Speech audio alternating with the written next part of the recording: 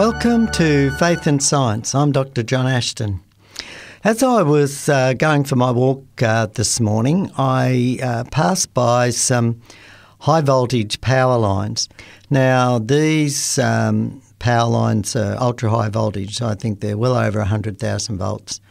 And when I think about it, these, these cables that run from the power station um, provide the energy to run thousands of homes, perhaps ten thousands, several ten thousands of, of homes through these wires. And when you think about this, these these wires up there, these metal wires, um, I'm not sure what metal they're made out of, whether it's copper or, or aluminium, uh, but some uh, good conductor uh, like that.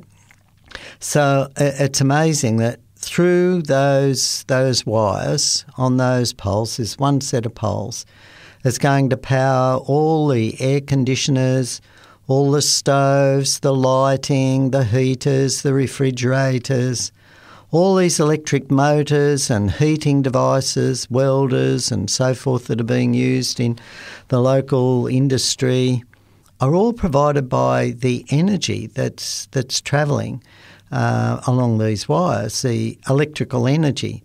And it, when I, I think about it, it's quite an interesting concept that we um, provide what we call a, a voltage or a, a, potential difference. Now, what is a, a potential?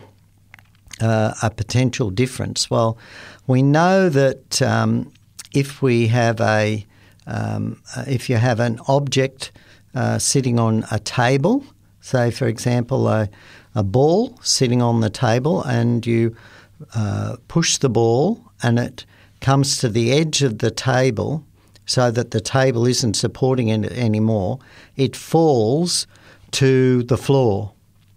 And we say that it has potential energy, and that is because it's in this gravitational field and it is being uh, pulled by the gravitational energy to the to the lower um, state of energy that is closer to the gravitational centre.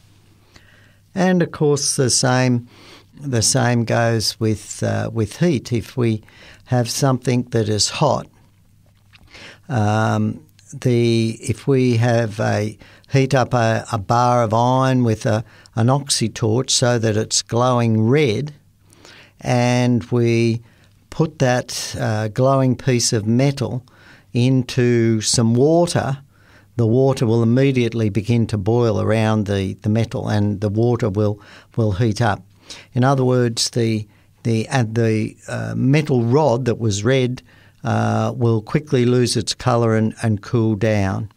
And so the energy, that heat energy, when that rod is heated up to you know, eight, nine hundred degrees centigrade, uh, flows into the cool of water and heats the water. So always the energy flows from the uh, from the hotter or the higher thermal potential to the lower, uh, from the higher gravitational potential to the lower state. Um, and the same thing when we talk about electrical voltages. So um, we have an, uh, an electric field, um, and we um, we can apply, um, and the generators in the power station generate a, a, very high voltage. So they generate by putting in a lot of energy from the steam turbines. Um, they generate a very high electrical voltage, um, and then that allows for it's believed electrons to flow in the um, in the conductor that provides what we call electrical current, because it's actually the amount of current or amount of number of electrons that flowing through something that actually generates the, the power. So you can have a, a very high voltage but no current and it, it won't move anything. Uh, it won't heat anything. Uh, so you need you need both, and that constitutes the the energy. And what fascinates me is that at the speed of light, uh, which is you know virtually you know, it's very fast, virtually instantaneous in terms of everyday living. Um, the the voltage flows along these wires at the other end. So we can apply we can apply a potential to this wire, this high voltage wire, and a thousand miles by a thousand kilometres away, instantaneously, as far as we can measure, there are changes that occur. And so somehow this energy uh, is available immediately, virtually immediately, at the other end. Now, this whole concept of electrical potential, electric fields, magnetic fields, we can't um, easily detect uh, magnetic fields usually. Um, uh, maybe some people are sensitive to fluctuating magnetic fields, have some sort of sensitivity and can uh, detect them. Sometimes we can detect electric fields, um, but I, I, suspect it's more that we're getting a reaction to on our skin to, uh, you know, and our hairs are standing up or, or something like that. But it's interesting these these these fields. They're there. You can move your hand through them. This sort of thing, just like you can move your hand through the uh, gravitational field, and we we can't um, can't detect them. And it, it just amazed me this whole concept of um, electric fields and, and electricity and and and and how it works. Um, it, it's quite amazing that um, metals like copper, silver, aluminium are good conductors of this electricity. Whereas if we make the um, the material out of you know something else like um, limestone or sulfur or uh, you know other other non-metallic elements, um, with the exception of graphite. Of course, graphite, um, which is a form of carbon, can be a conductor. But it's interesting that some compounds are conductors and some um, and some elements are conductors and some elements are non-conductors. And generally, we have the, the what we call the metallic elements are conductors of electricity, but the non-metallic elements aren't. So why why is it that the non-metallic um, materials don't conduct electricity very easily? Uh, and why is it that we can make you know insulators out of these materials? And it's it's quite fascinating that um, uh, it's all to do with the the structure around the atom, the array, a way the electrons are, are arranged. And I can remember when I was studying physics at university, I was in the last classes that were taught valve theory. So we had what we call radio valves, and so valves were used as rectifiers and so forth. Um, in uh, you know in radio sets and in pieces of equipment and, and so forth, radar sets, all these sort of things.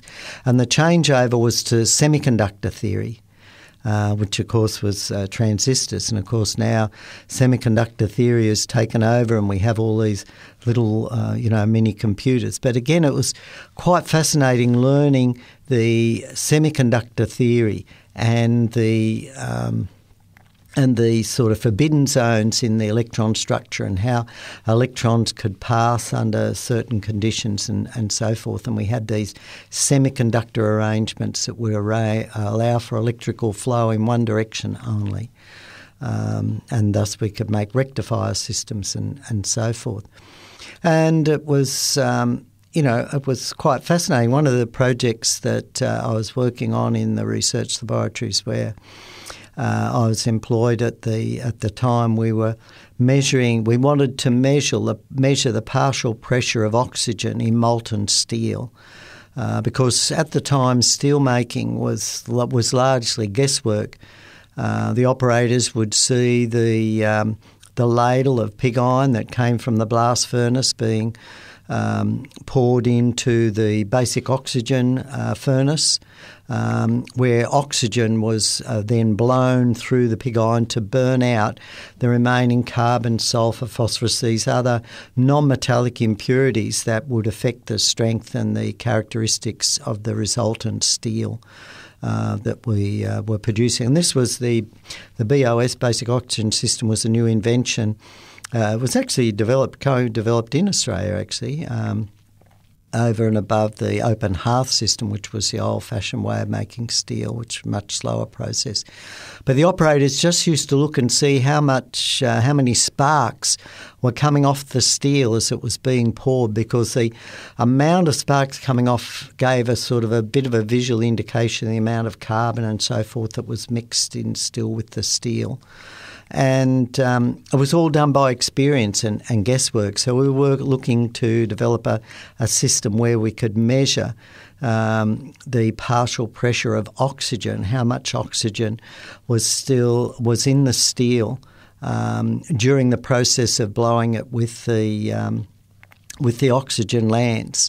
Uh, and of course, the steel at this temperature is just below 2,000 degrees.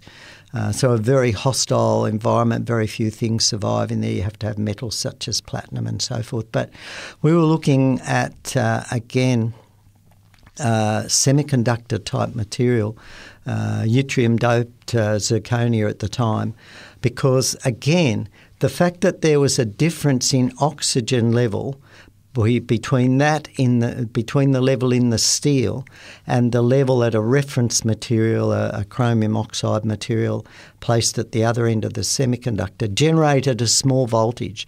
And so, using that voltage measurement, we could actually measure the oxygen level in the steel, very low levels, of course, um, in the steel under those molten conditions. But there was another factor that was involved, and that was the fact that we were using these uh, yttrium doped uh, zirconia uh, semiconductor type materials, and so they are a conductor uh, type material, and again they would uh, develop their, vol- their own voltage across the temperature gradient. So you have your, your molten steel um, in there, 1700, 1800 uh, centigrade um, out to the outside of the probe, which was at a much lower temperature, maybe only a few hundred degrees, you also produced another electrical voltage just due to the difference in temperature. And that was the Seebeck coefficient for that mineral. And one of the jobs that I had was actually measuring the uh, coefficient of uh, yttrium doped zirconia with different uh, ratios because uh, this work had never been published before.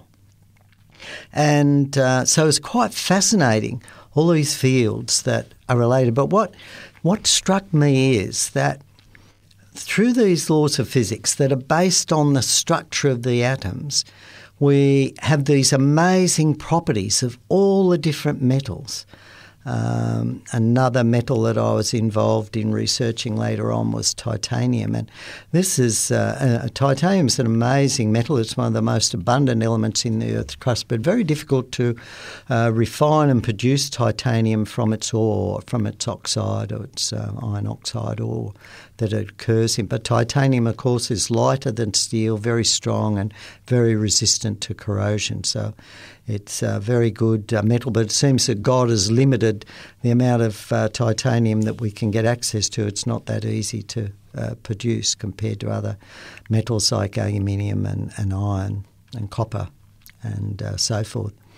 But as I thought about this, the, the, the this whole structure of uh, the way these elements formed. And, and you know, when you we look at cosmology and that, they talk about helium and, and the synthesis of different elements up to carbon and so forth. But when we look at the, the higher elements here, we're getting into some very interesting ones in the everyday materials that we use. And how did the structure of these atoms come about? Did they evolve somehow, non directed, to have all these amazing systematic properties?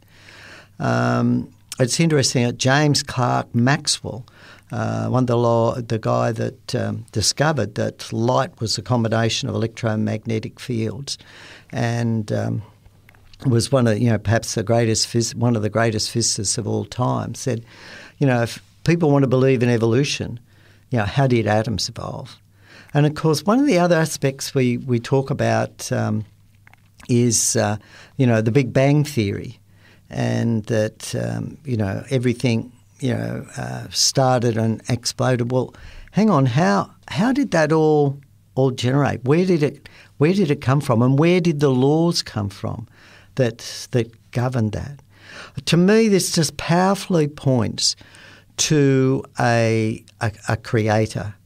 Um, and it amazes me that we can uh, apply these voltages, this potential we can generate, and this potential will drive this current through what we call an electrical current, which we understand as a movement of electrons, through these conductors that can turn powerful electric motors, can um, you know heat things, um, and um, it's just such a, a useful ent- entity.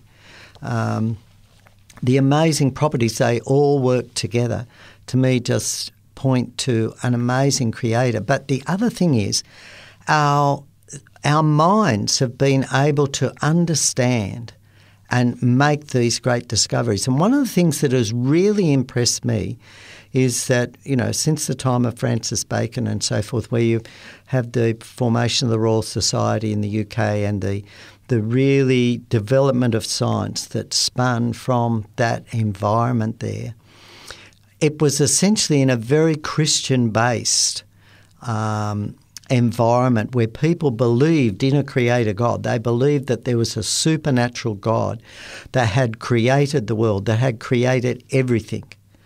Uh, and was behind everything. And that was the culture in which science developed. And when I look at a number of the greatest scientists that made the really great, stunning breakthroughs, so many of them were really strong Christians and the same in mathematics as well. And um, if you go to creationministries.com, um, have a look through their book list there or Answers in Genesis. They have books on, you know, signed, uh, great scientists that were creationists.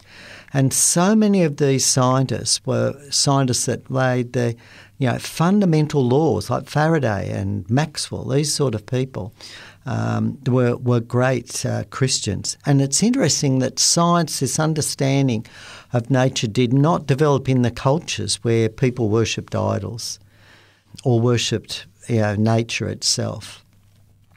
It's um, I, I, I, find that very interesting, and I, I think that God has gradually revealed um, an understanding uh, to us. But one, one of the things that fascinates me is that our minds, our human minds, have the capability to understand these complex systems.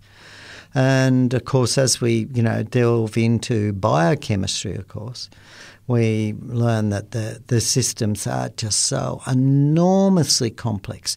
And we have teams and teams of scientists working together um, and gradually we've been understanding these things. But again, getting back to physics, though, I think one of the fundamental laws of, of physics and theories is the is this whole idea of, of thermodynamics, and um, it's it's interesting. There was a um, a quote uh, of Einstein that was published in Science, in the journal Science, back in 1967 um, on uh, volume uh, 159, uh, 157, sorry, 157, page 509. And it was um, um, an article, Thermodynamics in Einstein's Universe. And the author quotes Einstein as saying that um, it is only f- uh, that Thermodynamics is the only physical theory of universal content which, within the framework of the applicability of its basic concepts, I'm convinced will never be overthrown. And this whole idea of uh, thermodynamics, and particularly the second law of thermodynamics, is that everything tends to a state of greatest disorder, or everything tends to the state of higher entropy. So, entropy is a, a state of disorder. And so we go from order to disorder. And I mean, we see that, don't we, in our just in our living spaces, in our homes, um, uh, particularly in a child's bedroom. You put everything in its place, all the toys are put away, and before long, the to- child you know comes plays with the toys, and it's left out because it takes work, energy to put it back into order, and. Um, In this, uh, in the book that I've often referred to just recently, "Design and Catastrophe: Fifty-One Scientists Explore Evidence in Nature," that's uh, published by um, Andrews University Press. There's a, a um, an article in there by a, um, a chemistry professor, Dr. Mitch Menzmer. Uh, it's called um, "A God of Law, Order, and Beauty." And um, he uh, points out some interesting things about uh, thermodynamics. And he points out that within thermodynamics, there are three different types of bound or three types of boundaries between a system and its surroundings. You can have a uh, isolating, uh, closed, and open. And an isolating boundary permits no exchange of energy and matter. Um, and um, and it defines essentially the first law of thermodynamics, and that is that the total energy within an isolated system is constant. Um, energy and matter cannot be created. Uh, well, you can convert energy into matter and vice versa, but the total energy of that system stored in that system, either as energy and matter, remains constant once it's um, isolated. And so a closed boundary, a closed uh, system, as opposed to an isolated system, permits an exchange of energy with its surroundings, but not matter. And in an open boundary system, there's an exchange of both energy and matter with its surrounding. And so um, this uh, Dr. Menzmer uh, looks at if we look at a flower as a living system that exhibits beauty, um, it, we can see it's an open boundary system because it requires both energy from the sun and matter in the form of water, carbon dioxide, and nutrients from the soil. And so, um, in addition, however, to this first law of thermodynamics, we've got the second law of thermodynamics, and this is the law about entropy. And it's essentially a law that says that particularly for living systems, entropy in, increases.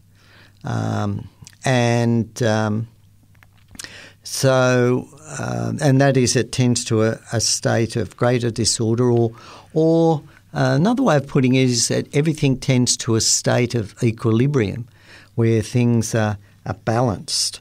Um, and so, a system with high energy a high entropy rather, be one where the energy is widely dispersed at various energy levels and locations. Um, and uh, well, the arrangement of the system is highly non-specific.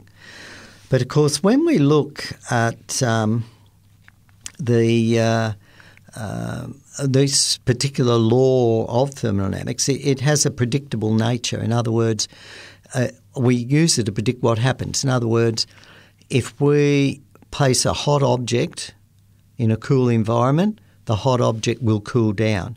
We won't find that the cooler, cool environment will get even cooler and transfer some of its energy to the hot system and make it hotter. It doesn't happen that way. In other words, if we have an iron bar sitting there, suddenly one end won't become cold and the other end become hot. Um, in other words, we can't drive it that way to produce that higher temperature. The temperature always will run from a hot temperature to a cooler temperature. Um, just like if you want the ball that you dropped off the table to go back up onto the table, you've got to apply energy and to uh, to push it uh, back up.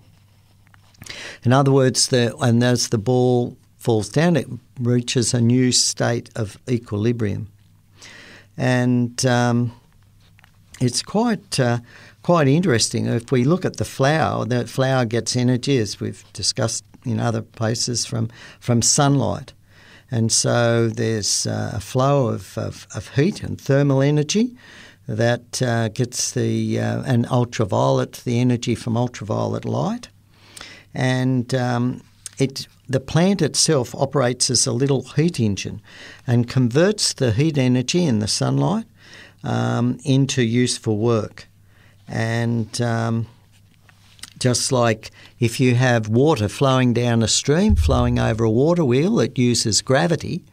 Um, you, if you want to harness the gravitational energy from that flowing water. You have to have a machine, and that machine is the water wheel and gears and everything that can use uh, to grind the flour. And so we need a machine. Of course, in plants, the plants themselves have a little uh, machine. Um, and this machine does the work. It, it actually creates molecules using that energy. So it manipulates chemical bonds. So it takes materials, water, carbon dioxide, nitrogen, and some other nutrients, and using the energy provided by the sun, it puts them into specific arrangements. In other words, that energy is used to create the chemical bonds that produce the new compounds. And of course, those new compounds are programmed by the DNA in the in the plant itself. This uh, type of uh, which directs it's a blueprint that directs and creates the molecular machinery using pre-created molecular machinery, the ribosome and so forth that we've talked about. You know, it's really amazing how these systems work. But initially, as we said, that everything is flowing to the state of lower temperature to greater disorder. Even the Big Bang theorists talk about the Big Bang expanding and so forth. And so all this points to a beginning, to a creator. And I think the evidence is just there in our face that something, some amazing super intelligence had to set up this system that works so well. It had to set it up and start, and that's exactly what the Bible says. The Bible says that in the beginning, God created light, energy. And from then on, we have the universe created, the earth created, the universe created, and so forth, space, and so forth there. It fits exactly that there is a creator. And when I think about, and there are so many examples of this, of that the, the great minds that made some of the greatest discoveries have been Christians, I personally believe that God, the Holy Spirit, has inspired a lot of those thoughts.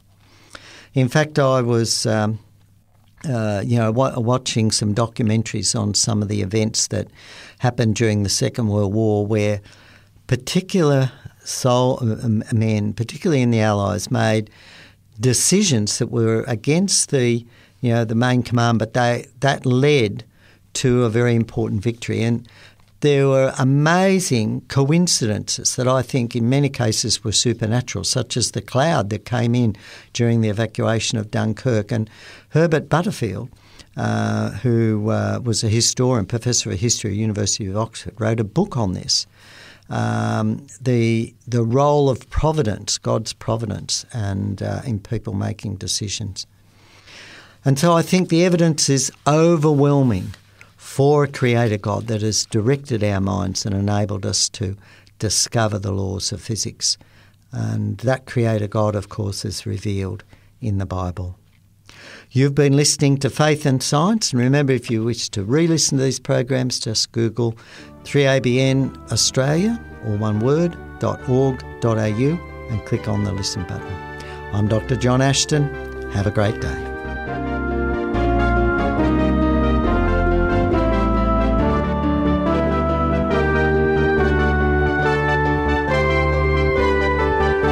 You've been listening to a production of 3ABN Australia Radio.